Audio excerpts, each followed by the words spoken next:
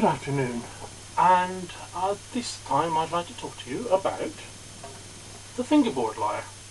Now, the lyre, as I said, it was played, it, it comes from ancient Greece and it goes even further back to the world of ancient Mesopotamia. And of course, there were the Anglo-Saxons, Anglo-Saxon, Viking, uh, early Germanic, and uh, Celtic lyres played in Europe. But, as time went on, some more novel forms appeared, and one of these is the fingerboard lyre.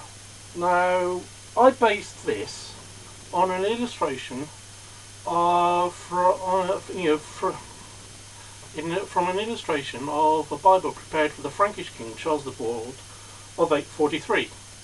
And it shows King David surrounded by his minstrels, and one of these is playing an instrument like this. It's a lyre, um, but it's only it's it's a lyre. You can see the showing. It has the it has the two arms, the rather shallow uh, sound box,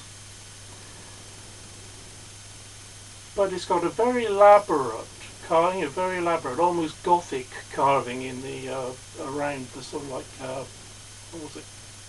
Not the peg box, you know, the yoke, I suppose, and the, you know, with this, you know, with these kind of fleur-de lines coming off, and this, you know, this cross piece here, and the and the arch. It's almost gothic, you know, like some of those in you know in the later gothic carvings.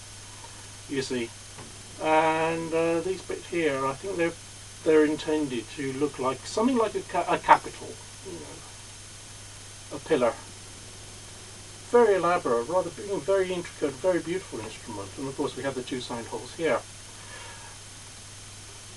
It only appears to have had three strings and the minstrel is shown stopping them at different lengths with his fingers which to my mind indicates that it was played something like a lute or guitar rather than having uh, the fingers simply stopping the strings just to stop one string from sounding.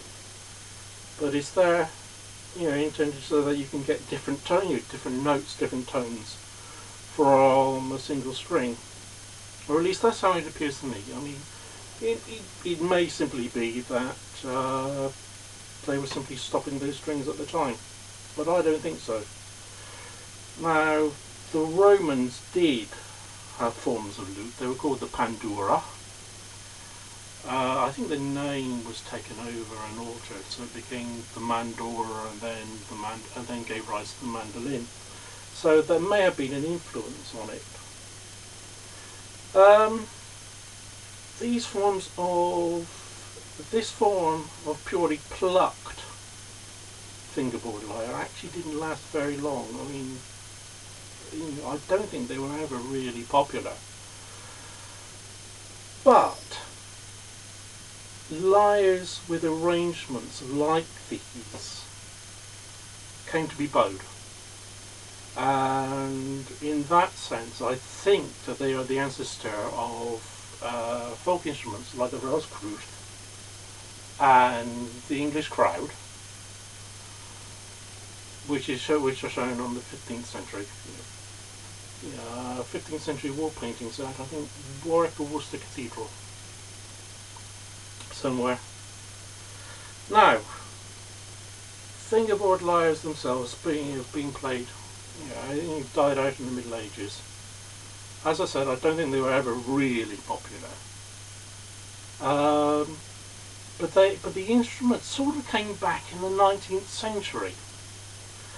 Uh, sort of came back in the 19th, in the 19th century when uh, luthiers started experimenting with the form of the lyre and they tried to combine that with lutes and guitars so that you had instruments which were made very much patterns after the ancient Celtic lyres or ancient Greek lyres even.